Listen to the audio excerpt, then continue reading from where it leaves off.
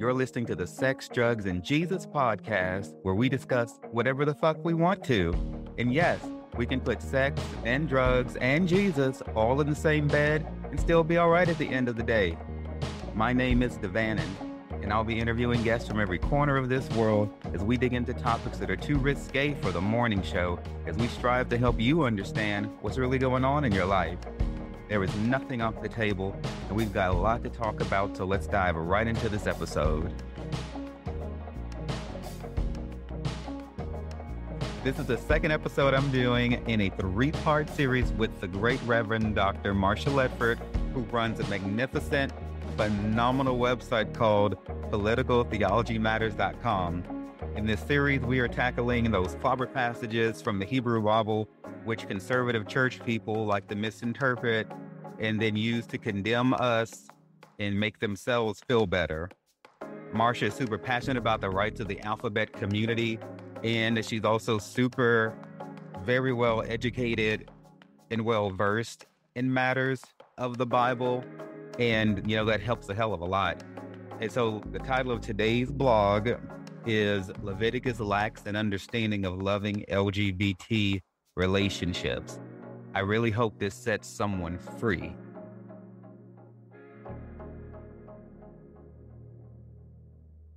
Marcia, it's so great to have you back on the show today. How are you feeling?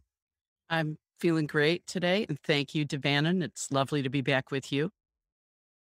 Lovely as always. Uh, same here. And so uh, today we are going to be tackling another one of your beautiful blogs from your amazing blog page that's on your website. Um, we're going to be talking about Leviticus. And the title of the blog is Leviticus Lacks an Understanding of Loving LGBT Relationships. And it's a super important passage to uh, talk about because so many churches and so many people who are supposed to be preachers use these scriptures in order to try to manipulate and otherwise intimidate people uh, but before we get into that juiciness, tell us a little bit about your website and your history. Sure. Uh, for the first 30 years of my working life, I've been a civil rights attorney. And uh, I sensed a call to ordained ministry as a teenager, but I wasn't seeing uh, women at the pulpit and the altar when I was coming of age in the late 70s and early 80s. So I decided to go into law and I became a civil rights attorney because I it's a way to help people. Uh, but I became increasingly frustrated because you can't or argue the gospel in court necessarily and hope to be successful. And in my late 40s, it seemed like the Holy Spirit was not going to let this go and kept poking me. So uh, I decided to go to seminary and get into the ordination process. And uh, then after I was ordained, I worked in the Latino community in Southwest Detroit, and I was appalled at uh, what I saw our government, our laws doing to families, tearing them apart. And so I decided to study political theology and uh, got a doctor of ministry and since then, I started Political Theology Matters, and that's what I'm working on full time to equip the faithful uh, to engage in faith based advocacy for greater social justice. Yay, we can all use a lot more uh, social justice, especially in this political climate that we're in right now. You know, when I was in school, I remember reading where like church and state was supposed to be separated and and all of that. And so it seems like church and state are like arm in arm these days. Uh, we've got, you know, churches endorsing political people and and it's it's just a hot mess from what it's become. So yeah. I think your website is absolutely quintessential, as crucial as necessary, and it helps to break down a lot of confusion. And I'm excited to see the direction that it's headed in. And, and that is uh, politicaltheologymatters.com, which will be in the show notes. Well, thank you. Absolutely, my sugar. And let's see. Um, so today in particular, we're going to be focusing on Leviticus chapter 18 and 22 and Leviticus 20 and verse 13. I'm going to read these two scriptures and then we're going to get into like a history first before we really dive into them. And I'll explain how we're going to matriculate, go through this. So Leviticus 18 and 22 says, You shall not lie with a male as with a woman. It is an abomination Leviticus 20 and 13 says, If a man lies with a male as with a woman, both of them have committed an abomination. They shall be put to death. Their blood is upon them. And so you talk about in the blog the difference between looking at a verse in a standalone fashion versus looking at the verses that precede them and come after them in order to avoid what, what what you're talking about is a, a pretext. A pretext is kind of like a preconceived notion or something that you're infusing into it, or as you say, a foregone conclusion. And um, you define it more precisely. A pretext, uh, you said it can involve uh, concealing an intent to mislead, understanding, or interpretation. A form of pretext concerns offering an interpretation while concealing a preconceived motive or agenda such as condemning, condemning all homosexual relationships across time. And so, and so what we're going to be doing today is looking at, looking at these scriptures and adding some context to them and kind of showing people ways that they can go through the Bible and figure out uh, the true truth on their own and really take a look at it. And so, what we're saying here is that the people who have explained these passages over time didn't do a thorough enough job and a lot of their own prejudices and hate were infused into the translations that were given. And so you can go ahead and and speak to us, uh, please, Marcia, about context, pretext, and why it's important to really take the whole picture when we're looking at scripture.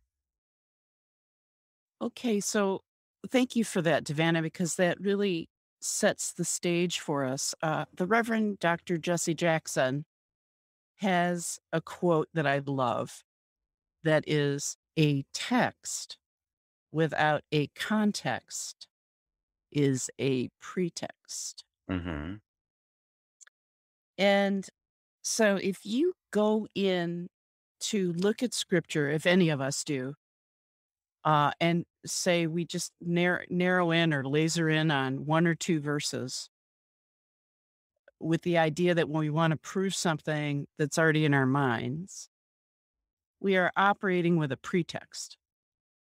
And that has been how these Leviticus passages have been read for a long time.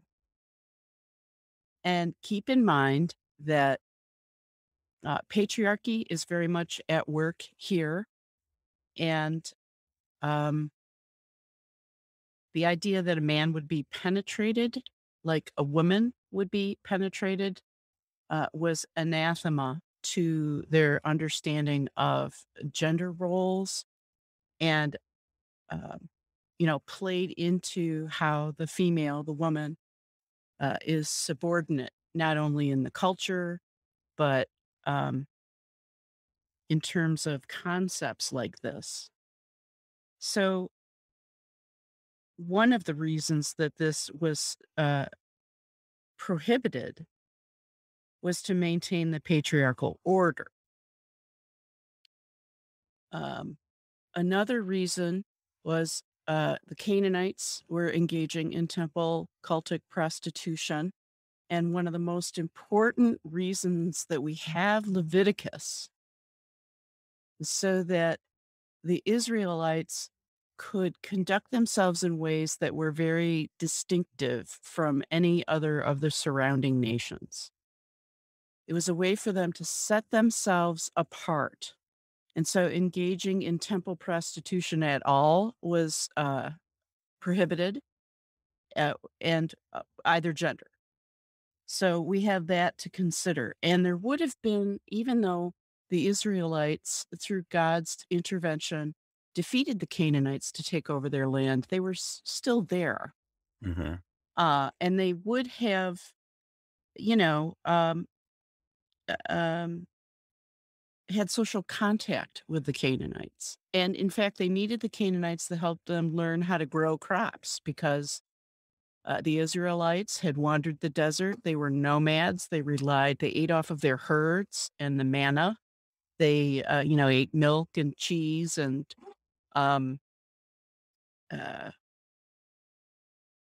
they weren't in the habit of growing things. So there was there's going to be social interaction and uh, that's how they would have learned some of these cultic practices and um, other kinds of behavior that uh, the writers of Levit- leviticus had codified that went against what god wanted them to do israel was a tiny nation it was surrounded uh, they had to have sons. They had to build an army. It was constantly on their mind.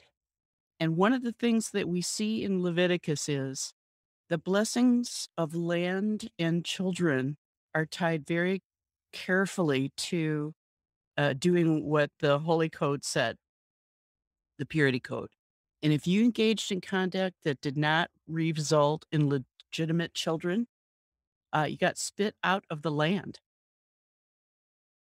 you were you know the uh, the language is literally you become vomited from the land and that's part of why it's important to read the verses around a particular text to find out what's going before and after. We call this a canonical reading. You know sometimes you can read the whole chapter before and after a verse. Sometimes you would read the whole uh, book. Uh, but that canonical reading is very, very important to help us set the proper context so that we really understand what's going on. So, um, if you engaged in conduct that would result in an illegitimate child or no children at all, uh, that was a violation of God's law. And so that's another reason why male to male sex would have been prohibited because it's a spilling of seed. And the spilling of seed or semen, semen was considered a finite quantity. It was, uh, it had a, um, you know, it had a very holy uh, aspect to it. And so wasting it so that you're not creating children by it was considered very sinful. All of these factors weigh in to these passages that typically have been used to just clobber LGBT people right over the head. So let's look uh, at what Leviticus uh, sets forth for people. It it um, regulates a lot of different kinds of conduct, and I'll give you some quick examples, and then we'll get to the ones we're really going to deal with in this discussion but the manner in which animals were sacrificed for Thanksgiving or atonement, there's specific rules about that. The means of atonement for individual and for communal sin. And that's important because uh, these prohibitions against male to male sex would have uh, addressed communal sin. In other words, not bearing children. That would be a communal sin uh, cure the care of curable skin diseases, the annual cycle of daily Sabbath and festival rituals. All of this is covered in Leviticus. It's a very comprehensive holiness code. Uh, regulating the purification of women after menses and childbirth, regulating the purification of men after seminal emission, regulating the purification of anyone coming in contact with a corpse. Now we get into the four that we're dealing with prohibiting sexual relations with close kin, prohibiting child sacrifice, which we believe was uh, practiced by the Canaanites to the god Molech, prohibiting a man having sex with another man, and prohibiting anyone having sex with an animal. So, um, you know, this isn't an exhaustive list, but you get the idea. Um, and particularly, we're focusing on passages that deal with fertility, killing children or progeny, or wasting semen with other men and animals. And if you want to get a much longer list, you can go to Leviticus, especially if you need some sleep. you hmm can go to Leviticus, Leviticus 18 and check it out for yourself. It's very interesting to me how so many of the things on this list, like say the um regulating the pur- purification of men after seminal emission. So that basically meant after man had a wet dream, he couldn't he had to go and like purify himself in a way like if a woman uh was having her period, you know, she couldn't like be around other people and stuff like that. And now, hmm you know, in this day and time, you know, if I have a wet dream, it's totally cool. I can just like take a shower and go out and, you know, m- intermeddle with people. A woman can be on her period and just handle that and just still go out in society. Right. You know, so so much of this, you know, we don't even fool with, you know, anymore at all. Nobody even Right. gives a second thought of bat an eye or a wink, you know, if these sort is, is, is this sort of thing. It's like people pick and choose what they still want to clobber people with and what uh, what's just gonna like be okay.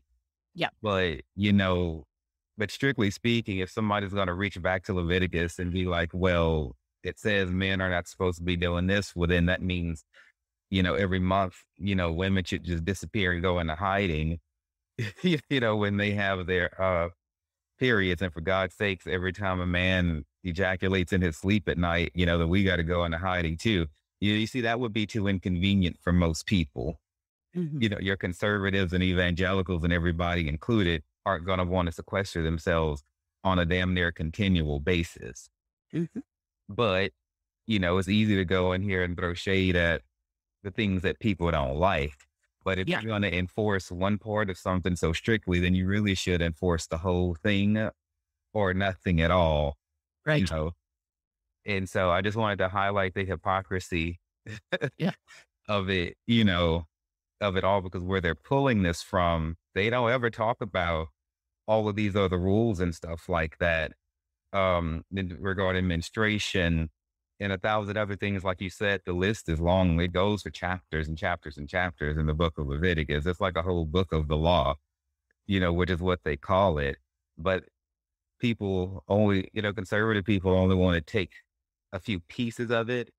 And like i said in our first interview you know the majority of us are not israelites anyway you know, and, and this stuff is very unique to them and to their culture. In the book of Acts, you know, we were reprieved and um, we were relinquished of the responsibility to follow the Levitical code, and not a, not a few pieces of it. You know, you know, we are not of the bloodline of Abraham, and so none of this applies to us. You know, if you choose to follow the way of Jesus, but if you want to be bound by this, you can. But we were released from all of this, Right. and so That's right. Uh, and we, you know, we refer to this as uh, selectivity when you uh, you know rely on some portions but not others, and that has, that's been a critique of uh, theologians who are in support of L- the LGBTQ communities by saying that you know, look, if you're going to eat shellfish, uh, then you've got to recognize that this is also a part of the the purity code and um, you know they're all on equal footing. None is considered more uh, egregious than another at least it doesn't state that. And so you're being hypocritical when you enforce parts of it but not others. Uh, like you said what you like you keep and what you don't like you get rid of as is convenient for yourself.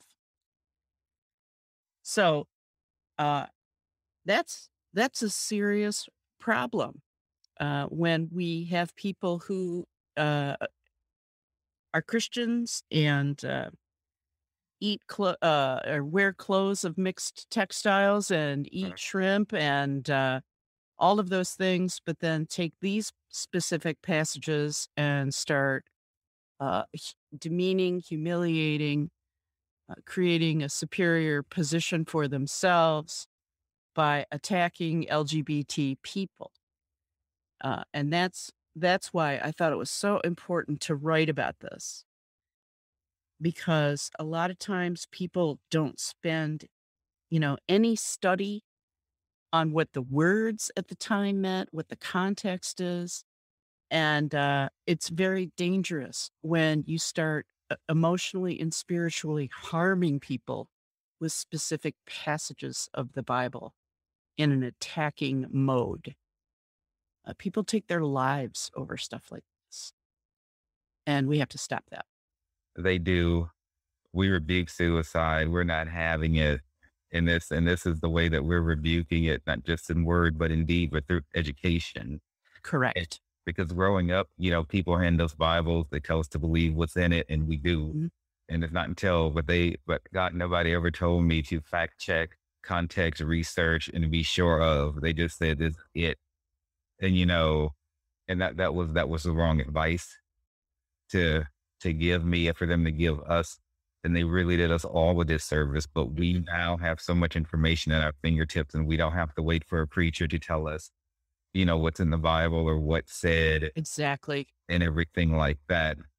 And now you mentioned something I hadn't thought of before, but how the the children of Israel, when they left Egypt, they were roaming through the wilderness, so they did not have time to they they, they didn't sit still long enough to grow a garden because they were always Correct. to move. Mhm. And yeah, the older people who were in Egypt were there long enough to grow stuff, but by the time they made it to Canaan, they had all God had killed all them all off because they Mm. pissed them off. And um, so the children that were born in the wilderness never knew anything about gardening. And that's near and dear to my heart because I, I, I keep a crop in the backyard. I just pulled some off, squash off of there, Nice. say, and some cucumbers as well. And so uh, I love the garden. Yeah. And um and um yeah, just like uh that was uh that was Abel. I think it was Abel was the uh, gardener of uh, Right. Cain and Abel. That was back in the book of Genesis. Right. and so so y'all when she talks about holiness, what she means, holiness is the same thing as like say sanctified in the New Testament, which is to be set apart. So to be holy doesn't mean to be walking around with like a halo glowing off of you or anything like that. It means that like the world is doing this, or like in the case of the Israelites, every nation around you is going to sacrifice their children or Mm. have temple prostitution and worship other gods and stuff like that. But y'all are not going to do that. You're going to be different because I'm the Lord your God, Yahweh, whatever you want to call me. And they have different gods. So holiness is the term used to define people who care about the Lord and want to follow him versus those who Mhm. don't. Mhm. And so when so so when we're talking about holiness or the holiness code, this is what this is. Now it's a very strict code, but they lived in a strict time. You know, things were a lot of rougher. People were walking everywhere. They didn't have Lexuses and Mercedes Benz to drive us around. We didn't Correct. have, you know, the internet and stuff like that. And so they It was hot. it was very, very hot. And then you could turn around and be very, very cold. You know, that's how those the arid climates are. And so the Lord was dealing with a rough people during a rough time, you know, specific to them at that time. But, you know, here in the year 2021, like like I said earlier, people are not going to stay home because they're menstruating. They're not interested in being restricted.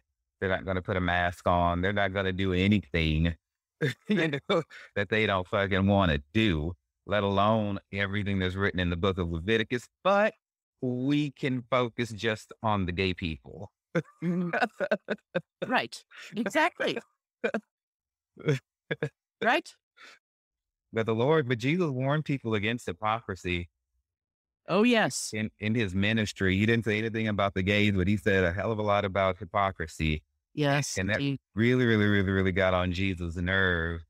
And um, so conservative people have been warned against their hypocrisy.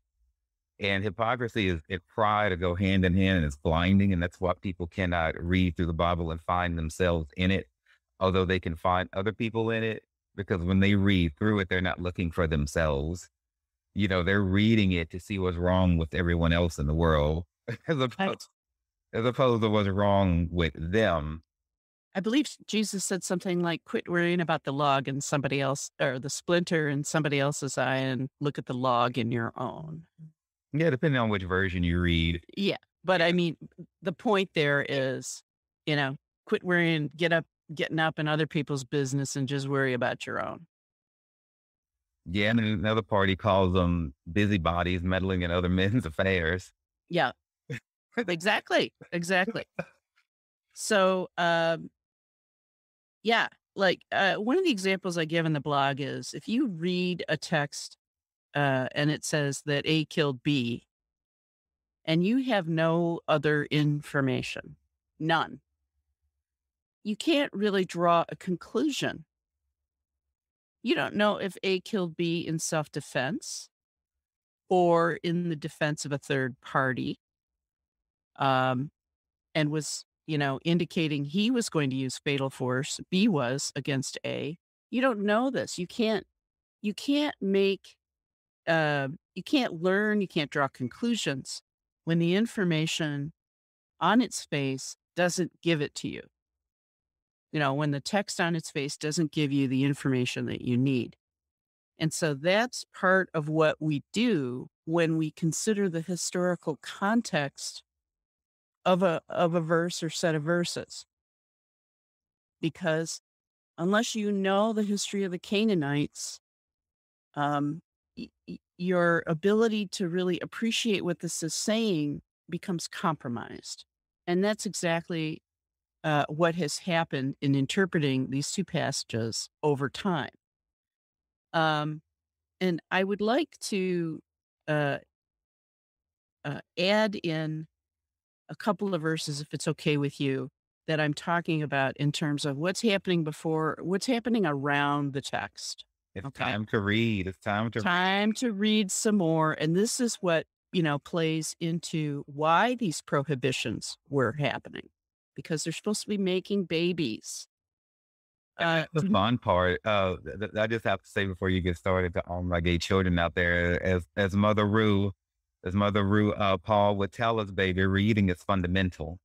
quite. So, And I love her.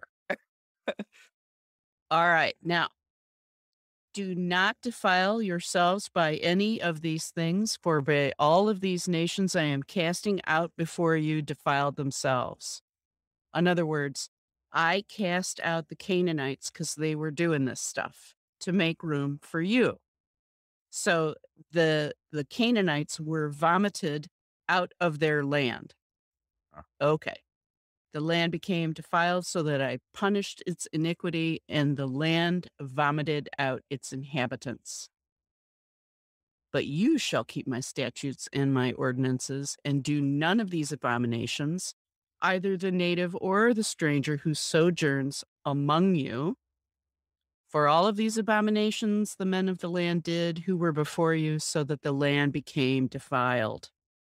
Lest the land vomit you out when you defile it, as it vomited out the nation that was before you.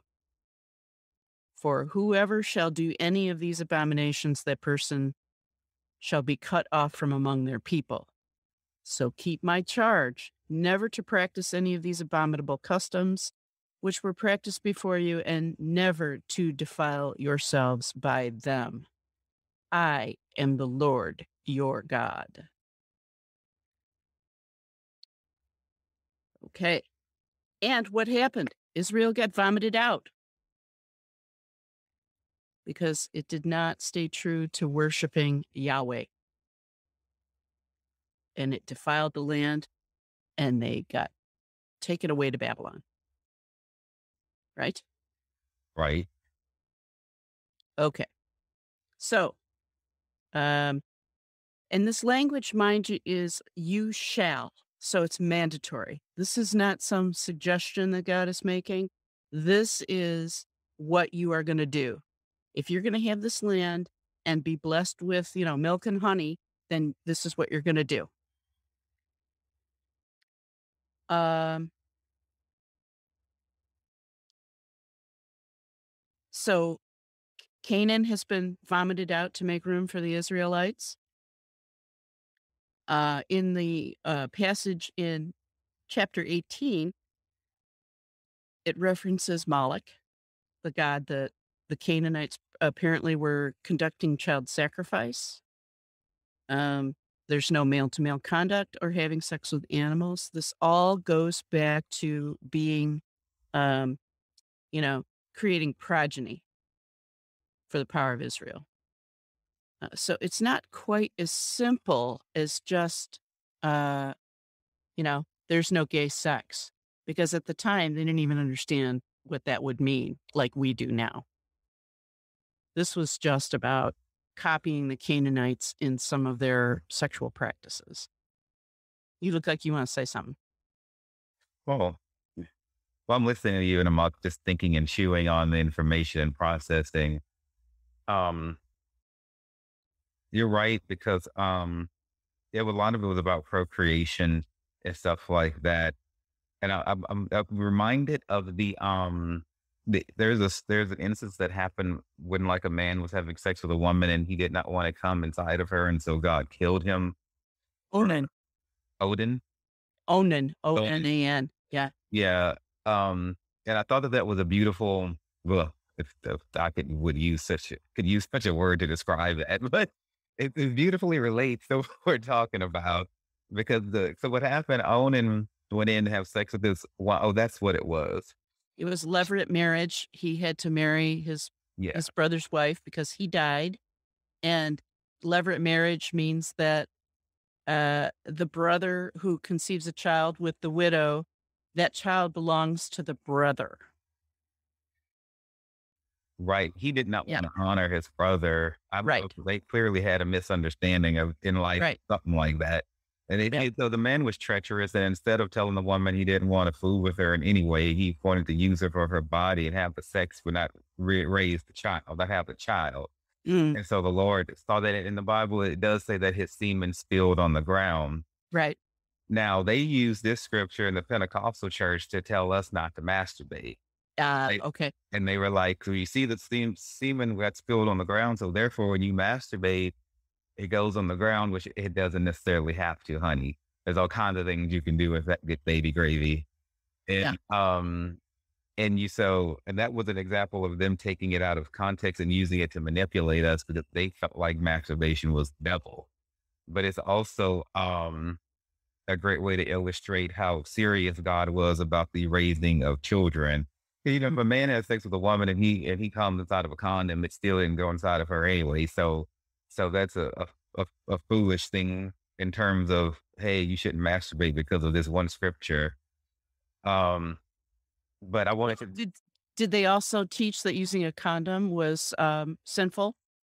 not the Pentecostal church, they don't Oh, go that interesting. far with it. Okay. they pick and choose. Yep. but strictly strictly speaking, by if you're going to go by the Levitical code, then yeah, contraceptives are totally uh, not of God. Right. Period. Blank. He's not interested in contraceptives. He wants if you're gonna have sex, then have children. Otherwise, what's the point? According to this Levitical code. Correct. But straight people are not, uh, not straight people, conservative people are not interested in hearing that because they don't, they want to, you know, you know, get their tubes tied and get vasectomies and whatever they can so they can have as much sex as they possibly can without having to be bothered with too many children. hmm And, and this is totally acceptable in, in conservative circles. And I don't have an opinion about it one way or the other because I'm going to adopt one day and it's not my business what the fuck two other people want to do. They can find themselves in the Bible. But for those who um who have a problem with so many things that people want to do, honey, you you've already been written about. I uh, heard a story of a a fellow who had a bird that he named Onan because he would spill his seed onto the bottom. so I thought I'd just throw that in there. So a little biblical humor there. Um. Anyway, I'll never look at the birds that feed on my bird feeder in the backyard the same when the seeds Right. fall out of there hitting hitting the ground. so let's. Uh, I said something about gay sex, and then you know the word homosexuality. Uh, that's a relatively modern term coined in, I think, 1869. Um, it's not a term that's been around very long, certainly not nearly as long as when these passages were written. Uh, the concept of sexual orientation that we have today would not have been something that made sense to folks back then. And so let's talk about uh, anachronism. When you take a term um, and you put it, you use it in a context that would be inappropriate. So to use the term homosexual with the understanding that we have of what that is today and sexual orientation, to uh, translate to interpret Leviticus using these terms would be to engage in using an anachronism. In other words, something that doesn't belong there because the context is wrong. The context is completely off. So one of the examples I used in the in the other blog that we talked about with Paul was if you were watching Ben Hur, which is a movie that has Jesus in it. Uh, ben Hur is played by Charlton Heston and he's a charioteer and he is in races in the Colosseum. And if so, if there was a car, you know, a 2021 Corvette in this race, uh, that would be an anachronism. And likewise, a chariot in a, a modern day Grand Prix would be an anachronism. So we have to be very, very careful about uh, either blatantly or surreptitiously, secretly trying to uh, build meaning into a text that is out of time with it. And that's another thing that has gone on very much so because we are now post enlightenment. We have the social sciences. We study human sexuality. We study uh, all sorts of things about being human and we know so much more about um, sexuality and and sexual health and all of it. In 1973, the Diagnostic and Statistical Manual of Mental Health or Mental Health removed the word homosexuality as a disorder. 1973, it was the DSM 3, which was the current one at the time. We're now up to five. So uh, modern psychiatry and psychology does not view homosexuality as a mental disorder. And yet we still see uh, the refusal to incorporate our modern context of the social sciences and our understanding about human sexuality, and we're still trying to cram them into the Bible. A document that was written 20, 1800 uh, the new testament what about 1900 years ago and the old testament much longer so this is a problem because what it does is it it gives a false justification to those who are trying to demean and criticize and exclude lgbt people um, by uh, reading current phraseology into super old texts. And it is, uh, the consequences can be fatal doing stuff like this.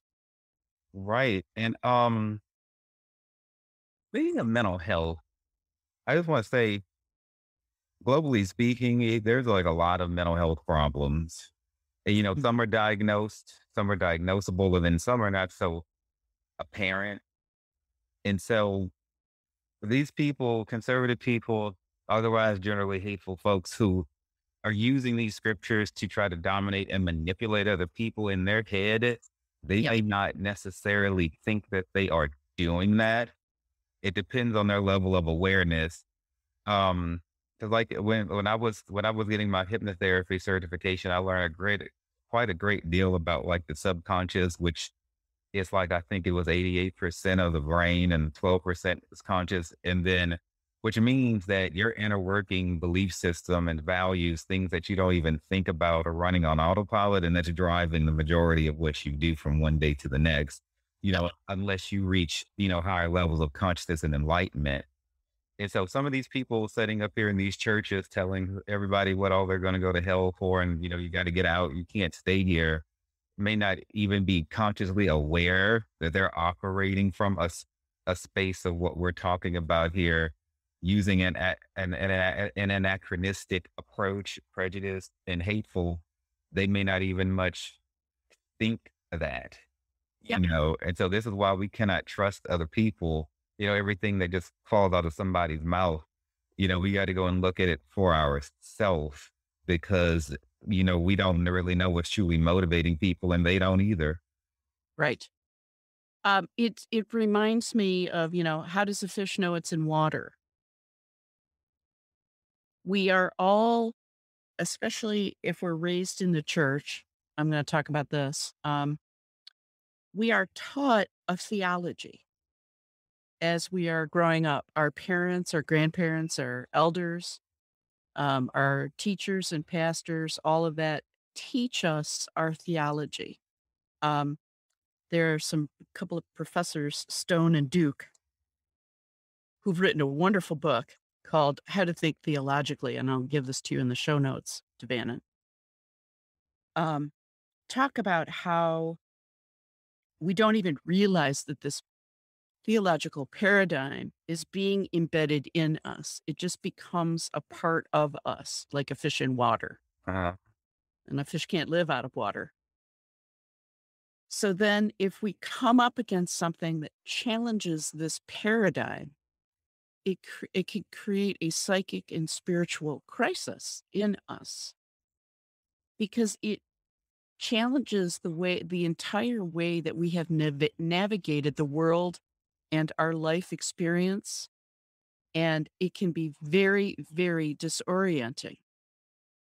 This happened to me when I was, you know, I was a church kid. I think I've mentioned that in the previous episode. I was all over church. Mm-hmm. Uh, and then when I started to figure out what was going on and coming out to myself, I had a terrible blow up with God about, you know, why did you make me this way and why, what's happening? And you know, I don't want to have to choose and I know that I can't change and blah, blah, blah. Um, I went through a paradigm shift. I had to figure out a way to navigate having my relationship with God and uh, being my true self, created in the image of God. I am a daughter of God. That flew in the face of what I was taught growing up. And so, uh, this deconstruction is eh, becoming the word that people are using. Evangelicals are going through what is called a deconstruction of their faith because they too get challenged by these various paradigms they were taught about, you know, being anti-gay and being sexist and, uh, you know, pay, uh, following the patriarchy and the purity code and all the stuff that people are challenging now. Uh, it's because we are challenging that embedded theology that we were initially raised with. And just because we were taught it by our elders doesn't mean it's necessarily good theology. Very often it isn't. This is a problem. This is a big, big problem.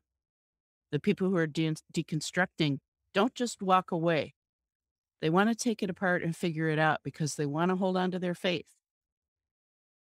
Um, and so I highly recommend people who are interested in learning more about uh, dealing with our embedded theological paradigm uh, should take a look at this book. It's an easy, skinny little read.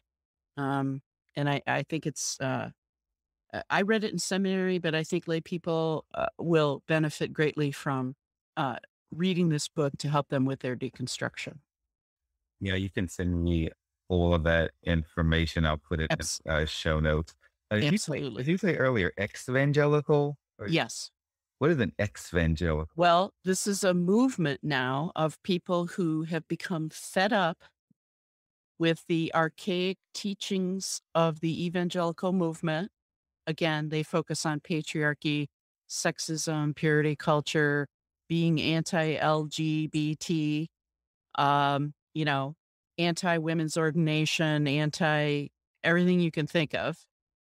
Uh, and people are, and, and people have been, there's a lot of folks out there who deal with a lot of spiritual, emotional, and sometimes physical abuse through their pastors, their church leaders, who, with a congregational model and no, um, you know, higher authority, uh, have a lot of leeway in terms of what they do to their congregants. Um, and this is how we, you know, hear about these stories of various kinds of abuse. So, and I belong to a Facebook group, by the way, of people who have uh, left their spirit, you know, their abusing congregation and they're trying to navigate the world uh, and, eh, you know, reset their paradigm and figure out how to hold on to their faith, but get away from the, the caustic nature, the toxic nature of an abusive pastoral relationship. Uh, so there's a whole movement out there of people who no longer consider themselves evangelicals uh, so they're calling themselves ex-evangelicals. And I notice for a lot of the women, it's because they're trying to get away from this horrible purity culture stuff. So you see people, it's okay to be pulled out of the matrix. Like when you're, uh, uh, as you're, de- as you're describing that, I'm just seeing it. Keanu Reeves as Neo in the Matrix, yeah. Yeah. actually waking up from the bullshit. Yeah. And, um, and I think it's important for people to know that it, that it, that you would not be the only one to break ranks with whatever it is that you have no thought, question. thought you believed in. And what Marcia is saying is not that, you know, it takes a lot of bravery and boldness and courage to, to be like, all right, I believe this for this many years. Wow, I've never really thought about why I believe this. Okay, so let me begin to dissect this because uh, I'm no longer going to take it at face value. As I dissect it, I'm not finding that I'm liking what I'm seeing. So I'm going to find a way to still follow the Lord, but do so without being hateful towards other people. Exactly. And, um, and it reminds me of when I, I went to, when I left, you know, like the Pentecostal churches and, you know, got more into more non-denominationalism and stuff like that. I would find people who would say something like they're recovering Baptist, you know, or, or they're mm-hmm. recovering uh, Methodist or in my case, a recovering Pentecostal, uh, you know, because you have been abused, uh, you know, by those denominations and stuff like that. And it's mind fucked you. And so now you've got to get yourself in a situation where you can heal, mm-hmm. you know, over time and stuff like that. And so I'm very happy to hear. I've never heard the term ex evangelical. I think that it is I think it's I think it's real humble of an individual when they're willing to take a second look at something Yes. and, and understand that they can do that without hmm abandoning God or compromising their beliefs. They're just simply saying that they're human and they could have gotten anything wrong. Exactly. There's um what happens uh, very often too when somebody uh starts challenging and asking asking questions uh they encounter a lot of resistance within the church structure because they don't want questions and they don't want anybody questioning their authority. And then sometimes uh, an individual will walk away, and then the pastor will uh, instruct the remaining congregants to have no contact with this person. So even though you may have good friendships and you know whatnot, uh, the pastor teaches the congregation to shun this person for daring to leave and challenge, you know, whatever it is that has been going on which is another indication that there's been some pretty serious spiritual or psychological abuse, if nothing else. Um, and so a lot of times when people are, say they're ex-evangelicals, they've lost their church community. They've been booted out. And that indeed does, like you said, take that takes tremendous courage. And then you're being disparaged, you know, by the pastor to the congregation he's a backslider. You know, she's, um, you know, she's a slut. She doesn't want to, you know, go by the purity code, blah, blah, blah. So there's all this stuff that goes on in addition. Uh, there's a tremendous amount of loss for people that are deconstructing like this. And it's a, it's a very scary place. But I would say to people who maybe are considering, you know, uh, is this church structure working for me? Um, it's a this is a Saint um, John of the Cross called this the dark night of the soul. This can be a pretty dark night of the soul going through this, but I believe that anytime you tr- you are being true to God and asking questions out of a place of uh, humility and wanting to grow closer to God, that you'll come out on the other side. It, it's going to be okay. But I'm I also think that it's important uh, to to build a new community. Don't try to do this, you know, by yourself. Find others, and you can do that on Facebook and other social media. There's lots of people who are going through this, like you said. Right. And um yeah, it, community is a real it's really the whole I don't know, that's at least half of the reason why we even bother to go to churches anyway. Yeah. Like in but you know, during the times when I went to churches, I didn't look at it like that. But there's so much community because you know, we're not designed to be alone and we're gonna seek out community in some type of way. And when I got kicked out of church, you know, as you were saying that, I was reminded of the fact that nobody ever did call me. You know, Right. people I had worked alongside for two, three years, nights, you know, several days and nights a week. You know, suddenly I disappeared and nobody called me at all. And so I don't know, maybe they told them I was a heretic, you know, and and whatever the case may be, which I don't know. I think that would be kind of cool if I was labeled as a heretic. That's a cool name. And um I I would lay money that they were told not to be in touch with you. I'd I'd put a bet on that. And so, and then when you were talking about Dark Night of the Soul, I was I was gonna mention that earlier because what you were describing when you were questioning your it sounded like your sexuality or who you were before the Lord. To me, that sounded like your dark night of the soul hmm No question. As you were going through it. And I went through something like that too when I was at a Pentecostal church in Riverside, California. You know, this church was telling us, yeah, of course, not to masturbate because that was having sex with demons you know, and this and this this this this this church here was the sort of church that would like tell people to speak in tongues, you know, lay hands on them, and then that's how they would get the Holy Ghost, you know, or receive the Holy Spirit, as people say. Um, you know, so they had a lot of uh, liberties, I shall say, uh, as they read through the Bible. That's just there was just shit that they would just feel like they could do, and they expected us to just believe it because they said so. Mm. Um, during this time, I dated girls. I had sex with women to see if I could make myself not be gay, Uh-huh. bisexual, or whatever. Uh, I no longer care to refer to myself by any title. I don't want to. I don't want to be gay, bisexual, whatever. I just, I just, I just, I, I am that I am. Mhm. you know, and so I am that I am, and so but but I did. I was like, I've argued, uh, or you know, I went to I didn't argue with the Lord, but I struggled with it. I was like, okay, why am I this way? Please take this from me. You know, Yeah. I hated myself, Mhm. and it was because of what other people said, and not because of a conclusion I drew, not Mhm. because of bad experiences that I had in the process of being who I am. It was strictly 100% because of the words that came out of other people's mouths. Yes. And then, um, but I wasn't thinking like that at the time. I was impressionable. I trusted that these people knew more than me because they were on stage and had pedigrees and titles, which I know all now know. I now know none of that matters. And um, and I and it, you know, you know, a girl, you know, girl got hurt in the process, you know, because I couldn't continue the relationship. You know, I wasn't straight. so Yeah. you know, but better to date somebody for a few months than than to marry them for 20 years and have children and then be like, hey, yeah, I'm not, I'm still not straight. you know, so which Yep. does, which does happen. Yeah. So Out of pressure, out of nothing but peer peer pressure. I, I'd like to just throw a couple of things out there. Um, don't be afraid of biblical scholarship, people. Uh, there, there is a, a an undercurrent that if you go to seminary and you, you know, study the Bible outside of the text itself, that you will lose your faith or that, you know, it's going to corrupt your belief or any of that. And I have found that to be the complete opposite.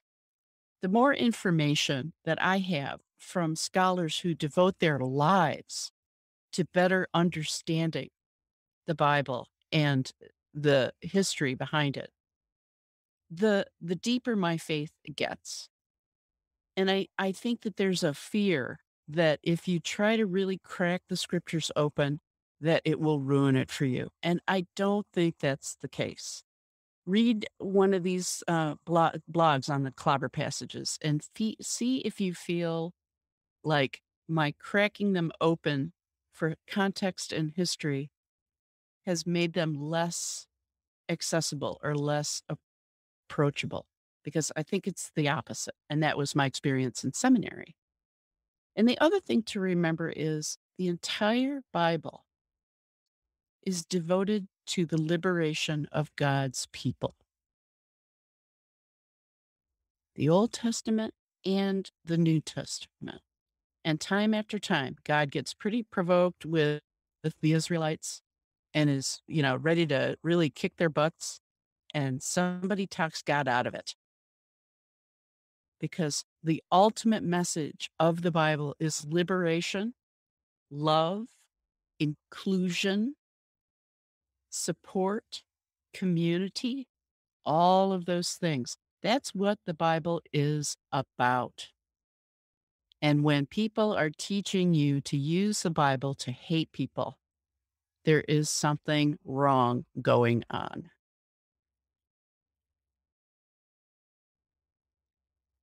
Well, I feel like that pretty much sums up what the whole conversation was about.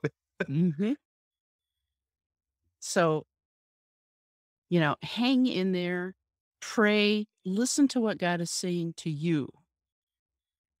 And don't let too often, now you can't see me, but I'm pointing up. Uh, too often we let just what you said.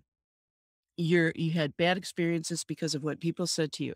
And too often we let these horizontal relationships with other people dictate what our relation is, relationship is with our creator. And nobody should be com- coming between us and our creator. That relationship is special. We are created in the image of our maker. And so stop letting others dictate to you what your relationship with God should be like. Amen on a Tuesday morning. There isn't anything that, there isn't anything else that I, I'm gonna say to even much try to follow that. So yo, so this was our second conversation, and we're gonna have a third interview to to close out this series and to tie it all in. And then we're gonna be talking about oh Sodom and Gomorrah. And and, and, and we're gonna really get clobbery with it then. And uh and and uh, and and and a little and a little bit salty pun intended relating to Lot's wife. Quite. yeah, and we're going to include Gibeah too, Judges 19. That's a nasty passage. Yep, we're going to talk about it all. And so, mm-hmm. and so, um, and so again, uh, I'll listen to show notes, your social media, your website, uh, you know, and everything like that. And um, and then we'll be considering continuing the conversation next time. And so we will we won't really consider the matter fully closed till then, like they like they used to do in the uh or do in the southern churches when they have a revival, if it's like a five day revival, mm-hmm. they don't they don't actually do the benediction or the closing prayer mm-hmm. until the fifth night. Right. so so we won't do the we won't actually close this until the end of the next conversation. All right. That sounds great. Well, blessings on you today in whatever you're going to be up to after we're done. It's just been a pleasure. Thank you for coming on on this show.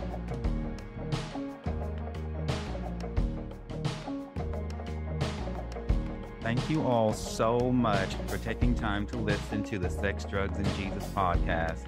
It really means everything to me. Look, if you love the show, you can find more information and resources at sexdrugsandjesus.com or wherever you listen to your podcast.